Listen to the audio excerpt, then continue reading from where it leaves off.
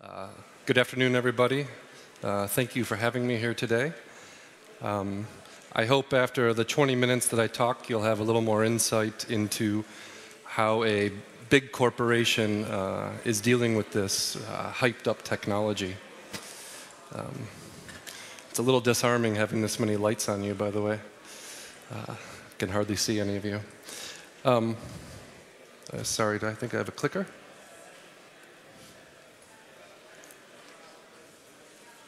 Good. So um, uh, this topic is talked about, it seems like everywhere. And uh, the team and I, uh, 10 of us or so, it's almost impossible to keep up with everything that's happening around blockchain or decentralized ledger technology. Um, every day it seems that some company is doing a new thing, an ICO is launching, uh, a lot of discussion about Bitcoin and cryptocurrencies. So I think the first thing that we had to distill was we have to separate between actually two hype cycles a hype cycle around the cryptocurrencies, uh, and then what enterprises and companies want to do with the technology. Um, on the one hand, uh, you have this absolutely fascinating thing blossoming in the world where um, all kinds of actors are involved with uh, cryptocurrencies and this speculative thing that's happening. People are making investments, and it, it draws in all kinds of people. Uh, what, what we love about it is behind all of that are technologists, engineers, uh, developing software code. And we think, how can we use that? May sound boring, but how do we use that to make systems more efficient? Um, how can we increase profit margins, uh, et cetera? So Um, what we do is we look at these attributes of blockchain. And if you think about building software, you might say to yourself, why do we need this? We have very advanced database technology. We can store data today in all kinds of ways. And we have very fast processing, very low latency to access data from all kinds of devices over all kinds of networks. But you can take each one of these attributes and you can think, ah, is it important to have no central point of failure in my software? Is it important that maybe some bits of data are immutable uh, or transparent? Um, if you want to remove the middle entity and you want to disintermediate, is that important to you? How does that make the software you work on better, faster, more scalable, et cetera? Um, so we are a large company, we're a telco. We have probably hundreds of software systems that we could always be innovating on. Uh, we also provide IT infrastructure for massive companies Bosch, Siemens, Daimler, the car companies, just in Germany alone. But actually, we have a global presence, over 100,000 people in our IT staff, uh, building and supplying infrastructure, not just uh, wireless connectivity. So, uh, when I talk about this internally to the management of Deutsche Telekom who want to understand this technology and how we can use it, this is the first thought I try to put into their mind. Somewhere around 26 years ago, everybody started getting very excited about the internet, and what we call the data highway was born. And we were able to exchange data between two disparate entities over networks. 10 years ago, social networks really blew up. And not only could you exchange simple data, but now you could exchange video, and you could do many to many relationships. And new business models were born where you could sell advertising much more fluidly and a much grander scale. Uh, now we have blockchain, which a lot of people might say is about trust and the trust highway. And maybe using smart contracts is that killer app that maybe some people in this room are thinking about diving into and building some software around. Um, I think that last uh, thing under impact, though, about the machine economy, uh, that's where an infrastructure company like Deutsche Telekom starts getting a little bit more excited about this technology and starts diving into it like our team has. So, um, as the team has gotten together over the last few months and we sit down and talk about why would we use it, here are some reasons why. And I have to go get budget from somebody and start spending money, hiring resources, writing code. And so we have some gates we have to pass through. Um, what does it mean to build more trust? What are some, where are some places where we could use most, more trust in the software we build, the relationships we have, the business models that we support? Are we able to make operations more efficient? Are we actually able to bring a new business model to the market, um, et cetera? Uh, and of course, I think the fourth item there is uh, one of the more interesting ones.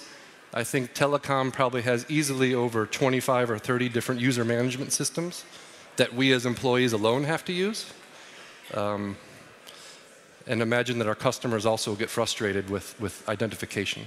So that's an area that we think about. So uh, our focus as a team, um, uh, I'm a leader in the innovation team here in Berlin. It's called T-Labs, Deutsche Telekom Innovation Labs. We're located uh, in the TU Berlin building in Ernst-Reuter-Platz. And we have a very tight integration with TU Berlin, for those that, uh, of you that aren't familiar with us. Um, there's a couple hundred of us uh, between Telekom employees and TU researchers and doctors and, and professors, and often we work together on research. Uh, they think more about publishing, we think more about commercialization. Sometimes it works out really well. It's good. And we can support each other.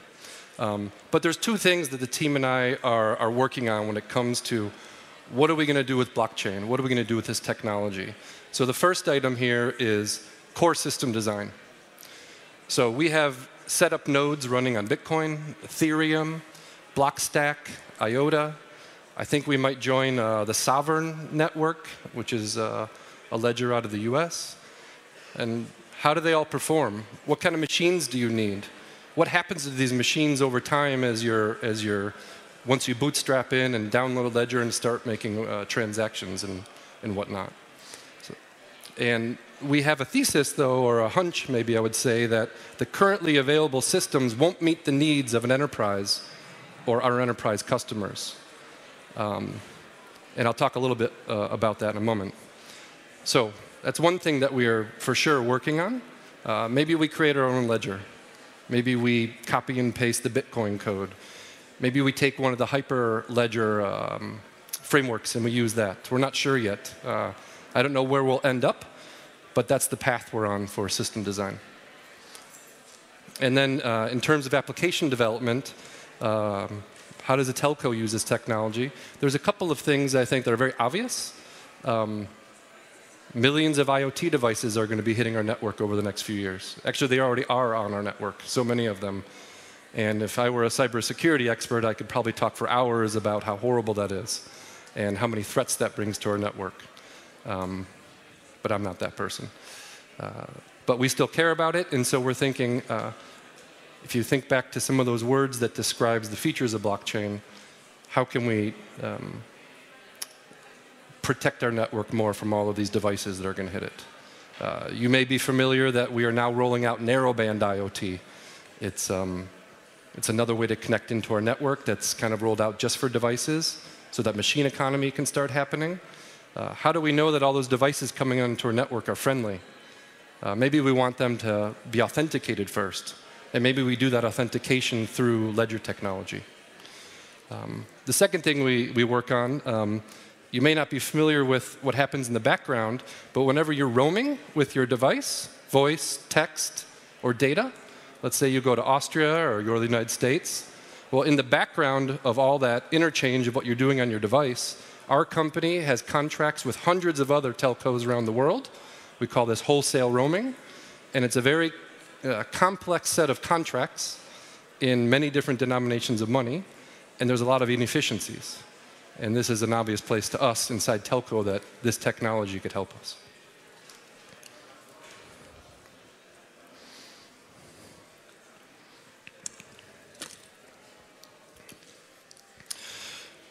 So I'm going to talk a little bit about what I've put on this slide and then open it up for questions. Um, this is a question posed uh, to me by my management.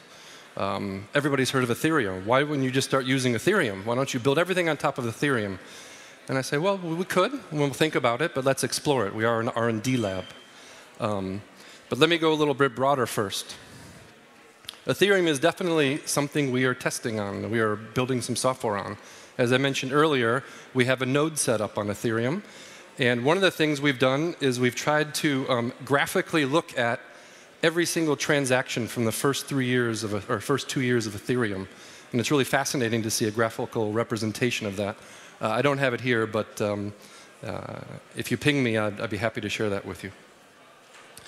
Um, so Ethereum is something we're looking after, um, and I'll talk a little bit more about um, some of the flaws we think Ethereum has.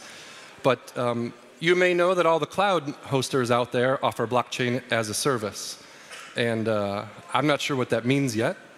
Uh, but according to them, it means please use our hosting, please pay us for our cloud hosting, and by the way, you can pay us a little more to set up an Ethereum node or a node on one of the other ledgers. Uh, this is my interpretation. That could be wrong, but that mainly seems like what the cloud providers are doing today. But I imagine there's people like me, actually probably many more of them at Microsoft, Google, and Amazon, um, thinking about how to really take that further faster. So puts a little bit of pressure on us if um, we want to build a business model on top of this. Um, but you know, Oracle and SAP, they also have the same thing. You can Google, look up what they're doing. They all say the same thing, most of the paragraphs. Um, and then Hyperledger, if you're, if you're not familiar with it, it's a part of the Linux Foundation set up to um, build a community around open source software and, and uh, blockchain technologies. I think today there are five, four or five um, ledger systems available for anybody to go use and build upon. And then there's a lot of toolkits. Um, if you're cynical, you might say, well, that's really a place for IBM to build business, set up their framework, and then you know, put a fee on top of building a, a blockchain system on top of that, very private one. Um, but we're starting to come to a conclusion that none of this really is going to fit what we want to do with, with Ledger, and that's why we're putting time and effort into it. Um, so I, we put this together just to give an idea of how we, we currently view Ethereum. And by the way, I, I, I think it's a brilliant system. But I also have to be responsible for service level agreements, uh, and we get charged if things go down. And I think if you spend a little time investigating Ethereum, you'll see that maybe you don't want to build an enterprise system on top of it, put some SLAs onto it, and provide it as a hosted service. Um, I do know that there's lots of people coding and making it better by the day, and maybe it gets to a point where you really can feel that it's reliable. I think I was just about to talk about the first thing that, that we find problematic about using Ethereum or a ledger where there is a token that is used for two reasons. Uh, I think it's used um, maybe primarily today, at least in the public's eye, as an asset, as a speculative asset, and the price is fluctuating. But it's also a utility, and you need this token in order to use the network. And if you've studied it for a while now, I mean, it's, it, it's not having exponential growth in its cost like Bitcoin is, but it still has a cost. And it still is primarily used, uh, from our opinion, as a speculative asset um, today. And Bitcoin in particular is a speculative asset. I think if you followed it this last week, it went from 7,500 US dollars down to 6,000. And today, I think, as of right now, it's right back up. So if you were paying for transactions on that, your cost of transactions is going up and down. And that's, that's a problem if you're going to be putting millions of transactions into a system. Um, and some may argue that it's actually not that slow of a network, but if you think about what if you were going to put 2 billion transactions in a ledger per day, could Ethereum keep up? Well, we're going to find out soon as we try to pound the system and um, uh, find some other things out about that. Um, the regulation here, uh, I, I, don't know all the regulation in Germany, but in the US, if you buy a Bitcoin or an Ethereum token, it's like buying a stock and you're responsible for capital gains. So if you buy a token and then you spend the token, are you selling the token? And I don't, you know, we need to come up with an answer for that. Um, if anybody has an opinion on that, I'd, I'd sure like to hear it. Um, so you don't know about your tax liability as an enterprise. As an individual who's doing an investment, it might come natural to you to be considering capital gains taxes, um, but it's something that we need to be considerate of. Um, I think maybe um, the second to last item under general, the denial of service, uh, there was the issue with Parity recently, which was on the fringe of Ethereum. It wasn't the network itself. But it makes you wonder a little bit about what actors are out there and what are they trying to do to break into the systems around Ethereum. And if we were using it and a partner of ours somehow got broken into, would we be liable for that? Would they hold us liable? Would they bring us to court? Anyway, these are considerations we have as an enterprise. Um, the language that's used for the smart contract, uh, I'm not a computer scientist. I can't comment on the strength of it, but I've been told that maybe there's a better way to approach it, maybe with um, a more commonly used language that more people are aware of. Uh, but that's something that we also will, are exploring here and in other ledger systems.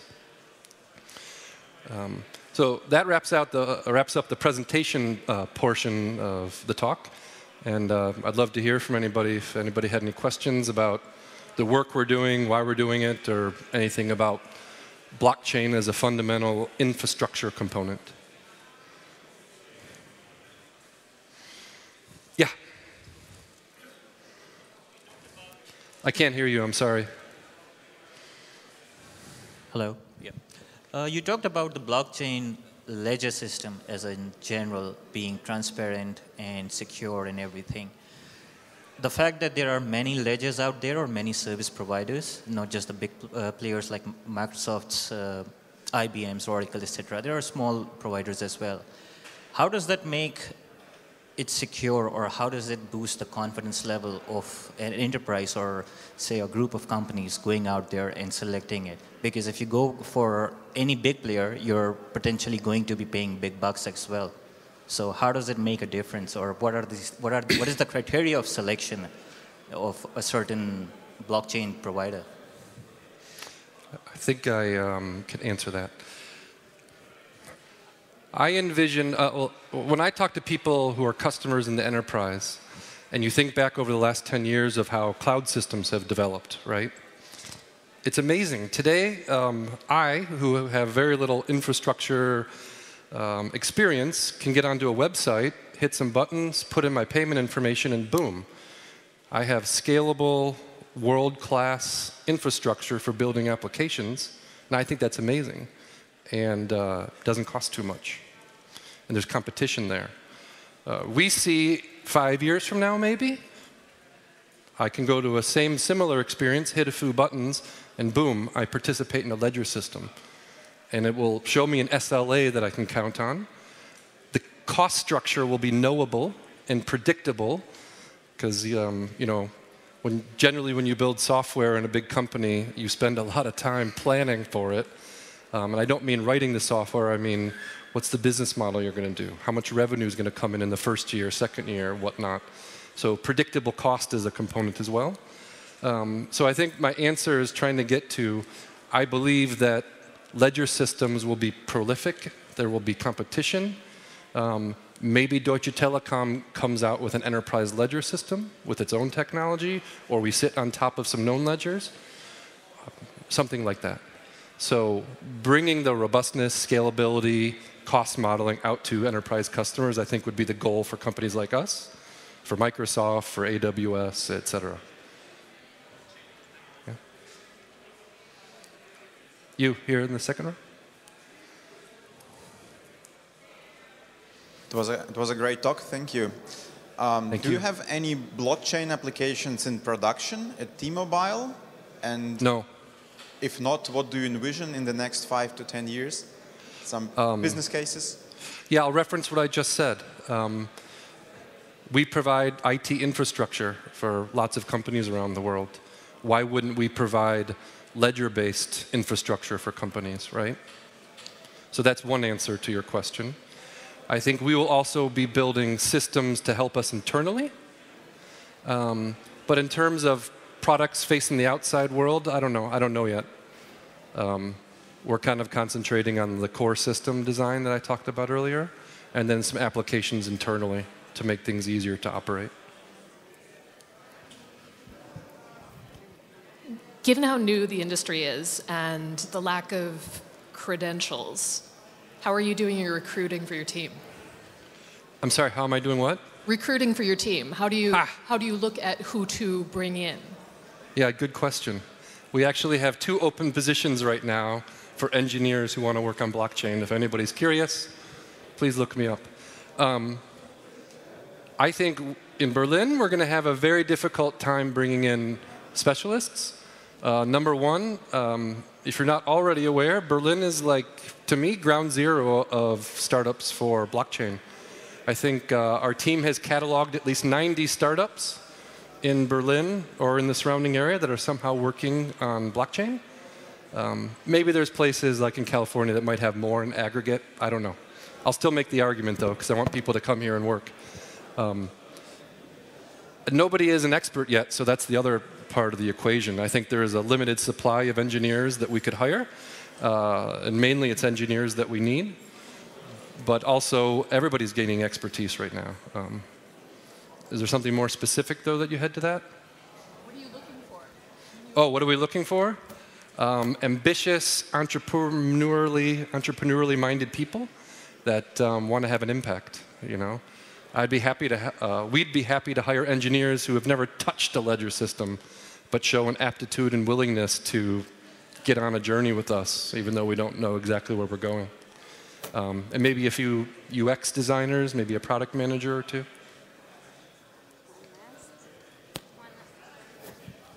Uh, John, how far you are from making a decision to build your own ledger or to use something existing?